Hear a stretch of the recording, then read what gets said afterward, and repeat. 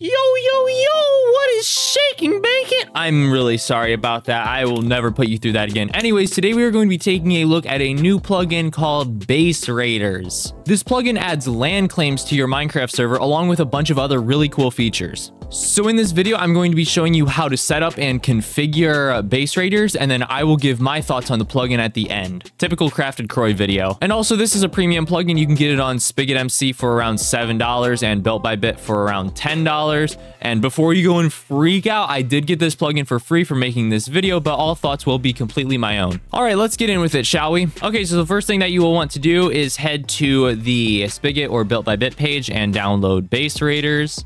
And then you will also be needing essentials for an economy system.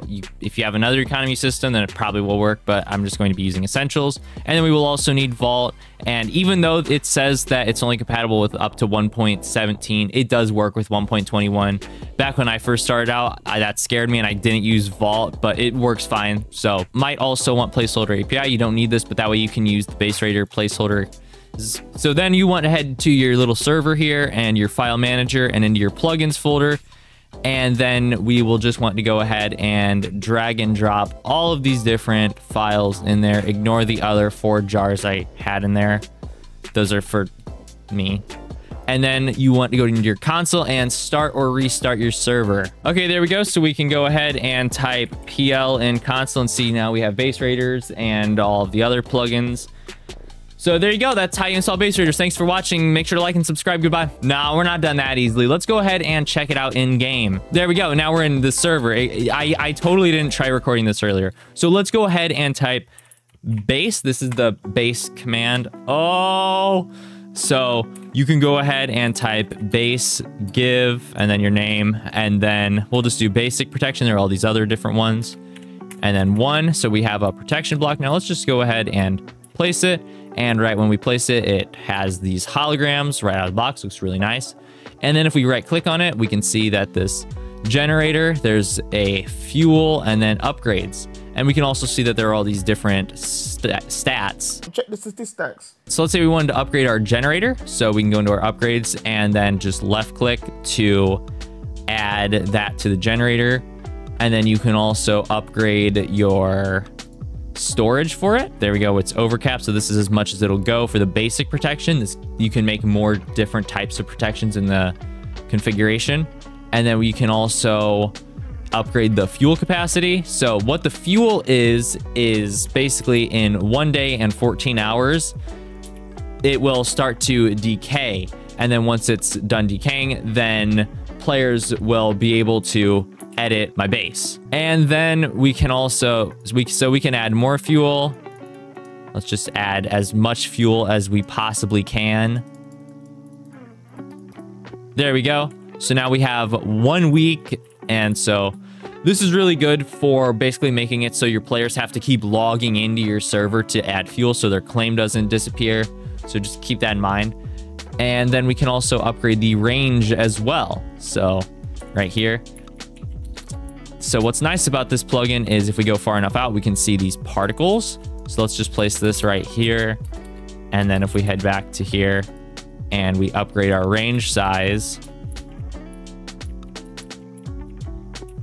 there we go. It's right here. somewhere around here. Yeah, th there we go. It, it's like right here, but I don't see the particles anymore. Okay, there we go. Now let's test out the protections that it has. Okay, so I'm on my alt account and I'm not trusted in the claim. So let's just go over here and I have now entered. And if we try to break things, then it won't work. Okay, so if we go ahead and place the lava right at the claim, it will not go in. So that's nice. Basically, you can't like burn the, the claim down. And I also cannot PvP in here. Probably because he's in... Yep.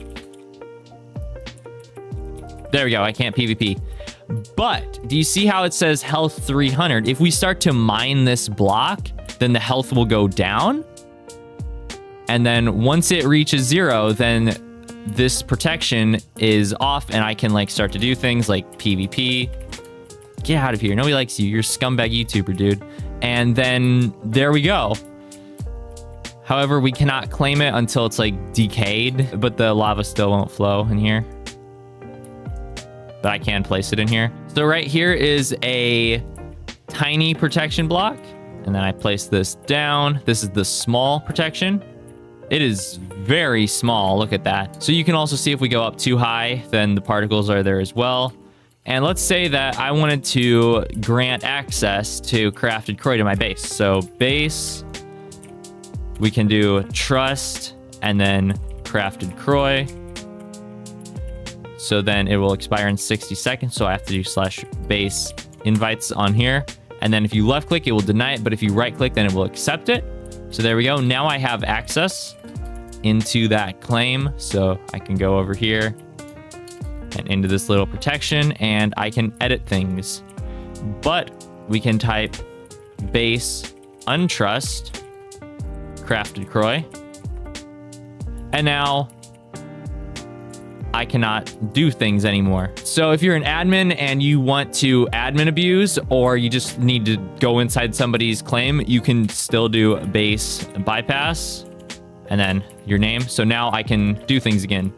And if I toggle it, now I can't. So that's a nice feature. And once again, I can interact with this and then I can destroy it basically. And now we can see the health is going back up. So let's break it down again.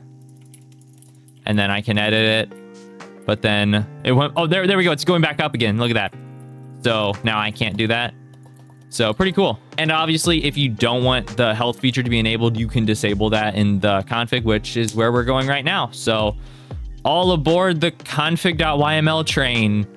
Woo woo. So yeah, go into the base raiders folder in the plugins folder and go into the config. So right here are all of your different placeholders and special thanks to all these guys. Thank you everybody for helping with this plugin. And we can also see that there are all these emojis that you can use here or anywhere else. This is like the no access message, so you can configure this however you'd like.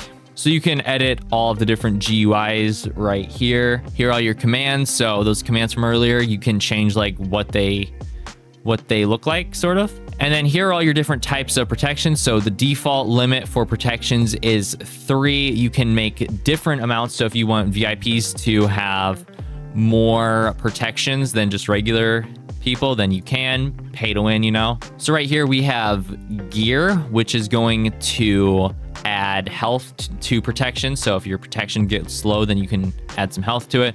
We can also add some fuel to it. So remember that fuel from earlier. So these items can add that to it. So in the handlers.yml, you can configure what worlds you want the claims to be enabled in. So right here, any, I would probably recommend getting rid of that because we don't want them to be able to place it in like the spawn world for for instance and then you can also see that the TNT regen and then some burning regen and then discounts and all that. So a lot of good stuff. So finally on the wiki there, you can basically see everything that I've talked about. And here are some more of the commands if you don't want to watch this video, which you've already made it this far.